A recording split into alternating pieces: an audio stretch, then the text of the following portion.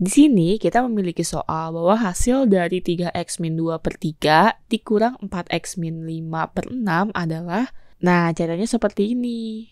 3x min 2 per 3 sam dikurang 4x min 5. Jangan lupa ya, ini tuh sebenarnya dikurung karena ini minnya itu bukan dari min uh, mereka udah sama.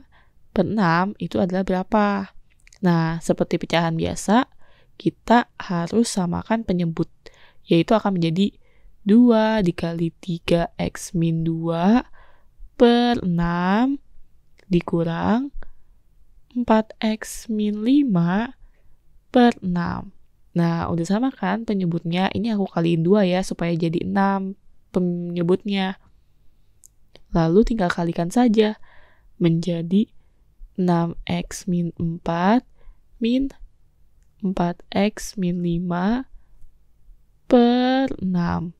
Sehingga akan menjadi 6x min 4x min 4 plus 5 per 6.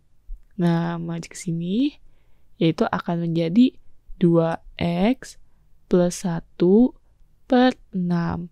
Ini adalah jawabannya. Sampai jumpa di soal selanjutnya.